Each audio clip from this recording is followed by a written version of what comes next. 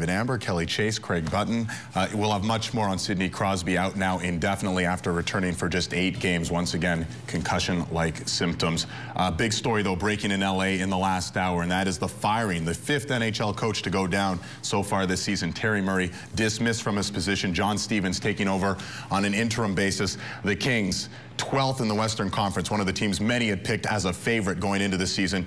Chaser, your thoughts on the situation, Stevens in, Murray out? Well, I think the situation comes down to, listen, they've, they've got time to make an adjustment where they can still get them where, themselves where they want to be at the end of the season. When players stop responding to a coach, you can feel it in the locker room. Guys are looking over their shoulders. Coaches sometimes change a little of their attitude. They try everything they can to get guys going. And when it doesn't work, it's kind of a morbid feeling around there. That's the feeling that, that we understand was coming out of the locker room in L.A. And when that happens, there's a change that has to be made. Yeah, the Boomtown Rats had a song that's that went. I don't like Mondays, and uh, I think that's the coach's refrain right now. The four coaches have been let go on Mondays now, but you know I think there's a lot of blame to go around here for the LA Kings. You know, starting with uh, the Drew Doughty fiasco. I mean, he ends up uh, not getting a full training camp out of shape, and, and, that to me was a fiasco. I didn't think it needed to go that long. You know, Brad, uh, Mike Richards and Simon Gagne have 14 even strength goals. Five of their other forwards combined have 13. So I mean, you got players that aren't performing well. And, you know, you have a system that I think that, uh, you know, they have to play tight.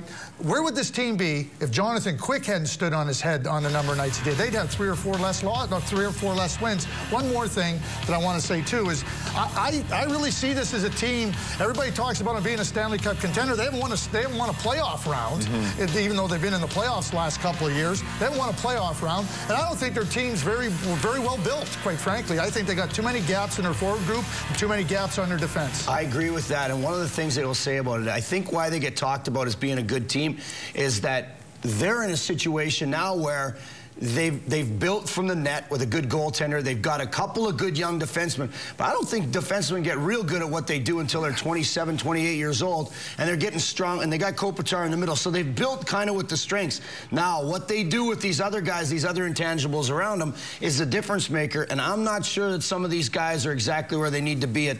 I mean, they're, they're, you've got guys in situations where if they're on other teams, they're maybe set back a line and, and, and, and on a good team. And they're, you know, instead of being a two, they're probably a three on the right side or, or vice versa. And so I agree with you on that. I think there might be a little bit more hype than there is meat on this bone. Yeah, well, I, I want to follow that up too. And I mm. couldn't agree with you more about the defenseman. Can you imagine you're, you're, you're, you're, you're putting your hopes on a 21-year-old defenseman? 21-year-old defensemen don't lead you, lead you anywhere unless their last name begins with O and the last, the next two letters are RR. you know, like it does, it just doesn't happen. 24, 25, 26 is when they're ready to take charge and assert themselves. I mean, Dustin Penner, that was their big acquisition at the trade line. He's a third-line winger. Now they're counting on him to come in and make the difference. He's not a difference maker. He's a support player.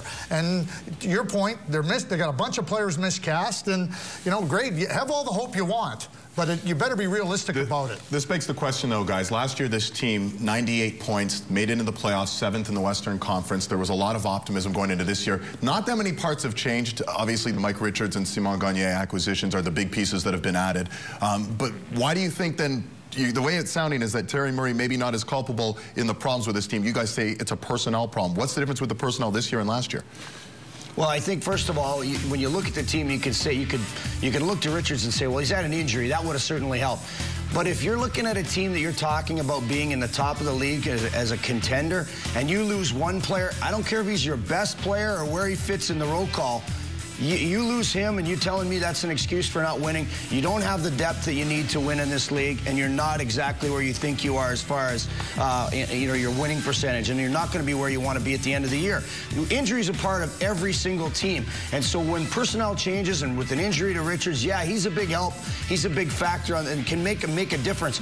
But you know what? You're paid to win hockey games, and when you're at the top of the cap, you got to have enough depth in there to get you over those humps when you lose guys to injury. Yeah, well, again, like, in, let's just go around the league. And, well, Pittsburgh, they only go without Sidney Crosby and Malkin and Jordan Staal. The Detroit Red Wings, every year, I mean, they run into injuries. They don't lose because they got depth. They're, like you said, I love that term, meat on the bones. That's what they got. There's not enough meat on the bone in L.A., and you can be as optimistic as you want, and you can talk about, hey, listen, we're moving in the right direction. Stanley Cup contenders? Give me a break. Well, in steps interim head coach John Stevens, a former head coach of the Philadelphia Flyers.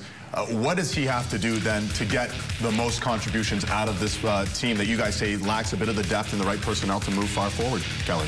Well, I think what has to happen is everybody in the organization may have to step back a little bit and, and let the uh, room air out a bit. So whether it's the general manager or the or ownership group or some of the coaches, everybody's got to say, if it's really, if you're really going to let him be in charge and you're really going to let him try and get this thing turned around, you have to have the, you know, the ability to let him, you know, spread his wings and fly a little bit to say. I mean, I, I look at what happened in St. Louis with our team. When Hitch, when Hitch comes in, he's allowed to maneuver the way he knows and sees fit. So you've got to let Stevens do that. You can't micromanage him or nothing changes. So what you want to do is let the coach go in there, have some of his own ideals, let them run with it. It becomes refreshing to the players.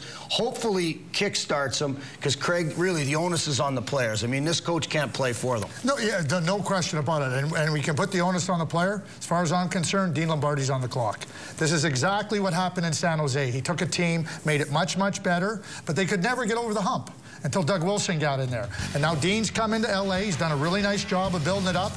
This is a real, to me, this is Dean's po point in time where he has to help this team move ahead. I, I think they got to make some changes to their group, add some strength, add some meat to that bone. Because right now, you can keep changing coaches. You can, you can try to get the players to do more you are what you are. And right now, the LA Kings, to me, they need to get some so, uh, better players. So you're saying if you plant a potato, you grow a potato? Yeah, I, okay. yeah.